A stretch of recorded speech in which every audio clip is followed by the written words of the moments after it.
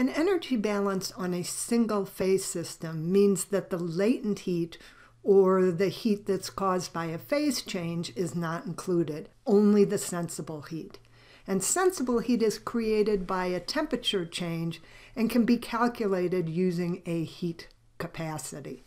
So if we're looking for a specific enthalpy, this is going to be equal to the integral from the initial temperature to the final temperature, our heat capacity, which is a function of temperature dt. Where do we find these heat capacities? You look them up in the back of the book or you can find them online. A primary example of a single phase system is a heat exchanger. So you have one fluid which is hot that exchanges heat, sensible heat, with another fluid raising that colder fluid's temperature. The heat exchanger is generally adiabatic, so all the heat lost by one fluid is gained by the other. And if you want to write it as an energy balance, it's that Q of the system, which is the heat exchanger, is equal to zero. Again, what that means is that the enthalpy lost by one fluid is gained by the other. So let's look at an example. So here we have an adiabatic shell and tube heat exchanger, and it uses water at 90 degrees.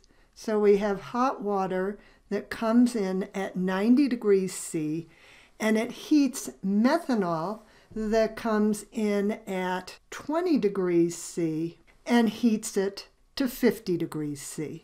And the flow rate of the hot water, so our n dot of the water, is going to be equal to 0.5 moles per second. And the flow rate of the methanol is going to be equal to 0.3 moles per second.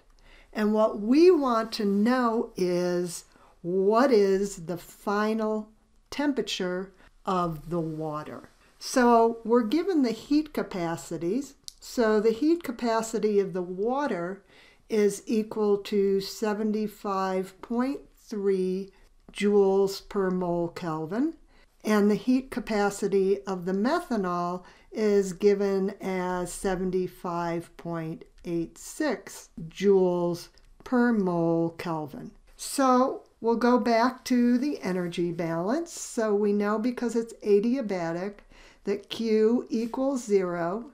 And so that's going to be equal to the H of the water plus the H of the methanol. So that equals, so we have our N of the water and our integral from our T final to our 90 degrees, because that's the initial temperature, our C sub P of the water dt, plus the molar flow rate of the methanol, and now here the initial temperature is 20 degrees C, and the final temperature is 50 degrees C, and this is C sub P of the methanol dt. And again, that's going to be equal to zero. So if you note, our heat capacities are one term, so we can take everything out of the integral and call it n c sub p delta t. So let's do that. We have that 0 is equal to, and here's the water, 0.5 moles per second times our heat capacity, 75.3 joules per mole Kelvin, times our delta T, which is T final minus 90 degrees C. And we add to that our flow rate, 0.3 moles per second of the methanol times 75.86 joules per mole Kelvin. And now our delta T here is 50 degrees minus 20 degrees C. And so if we do the calculation, we find that the final temperature of the water is equal to 72 degrees Celsius. Now, an easier way perhaps for you to see it is that the enthalpy of one is equal to the negative enthalpy of, two, of the other. So we can rewrite this as 0.5 moles per second.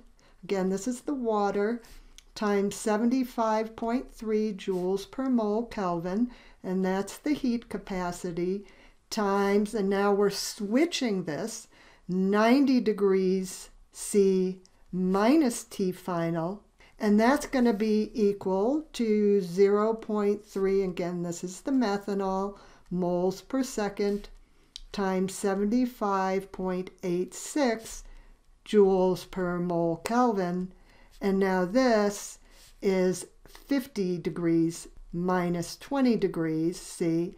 And actually you can calculate this, which is equal to 683 joules per second or watts. So one thing you have to be careful of when you're doing a problem like this, if you note I only had one term for the heat capacity and that is reasonable because we have liquids. But once you have gases, you have to have the entire expression for the heat capacity, which usually runs to four terms.